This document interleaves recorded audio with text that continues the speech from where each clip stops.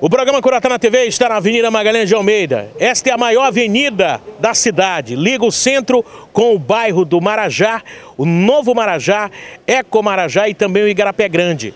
Os moradores aqui da avenida relataram à nossa equipe do Coroatá na TV que esta avenida à noite vira verdadeiramente uma pista de corrida e até durante o dia.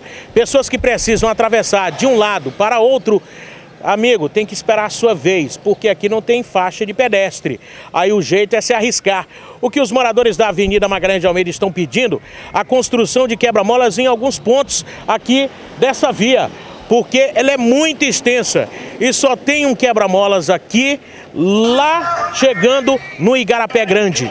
E os moradores reclamam da situação, dizem que aqui é um ponto certo para acontecer acidentes, porque virou uma pista de corrida e há muito tempo eles solicitam aqui a construção de quebra-molas. E quem passa por aqui todos os dias, principalmente a pé, se torna alvo a qualquer momento sofrer um acidente. Seu Emanuel, o senhor mora onde aqui? Moro na rua Benjamin Constante. O senhor está passando aqui pela Avenida Magalhães de Almeida a pé. Se não tiver cuidado, pode ser atropelado aqui. É verdade. Os carros passam em alta velocidade. Passa, moto, moto daqui que passa, chega, sair fogo porque ela faz cano, no cano da descarga. Os moradores pedem a solicitação e a construção de quebra-molas aqui. Seria bom? Isso era bom.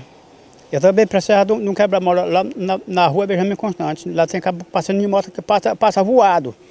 Para quem anda a pé é um perigo. Ah, mas Maria. Ah, tem uma, uma criança pequenininha assim, ela não sai do meio da rua. A roda dela chama, ela chama que cansa. Quanto mais, mais ela, ela corre para frente. Crianças é um alvo muito fácil. É verdade.